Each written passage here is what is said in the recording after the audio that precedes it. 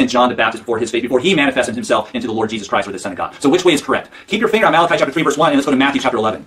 Matthew chapter 11 is about John the Baptist. This is when John the Baptist sends two disciples to Jesus to inquire of Jesus. After they leave Jesus, Jesus reflects upon John the Baptist. Matthew chapter 11, verse 10, for this is he, this is Jesus speaking,